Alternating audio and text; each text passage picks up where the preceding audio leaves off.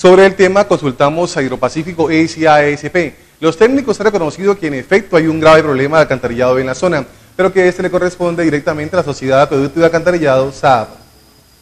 Los operarios de Hidropacífico indicaron que los trabajos se están realizando por parte de la empresa, pero ya el problema es de la sociedad de acueducto y alcantarillado, pues las redes están en muy mal estado. Sí detectamos de que la red alcantarillado se encuentra en mal estado y requiere de reposición, lo cual se va a notificar de igual forma a la sociedad de acueducto y alcantarillado para que realice el trámite respectivo. Los habitantes solo esperan una solución inmediata antes de que la mezcla de las aguas residuales con la potable traiga consecuencias de salubridad.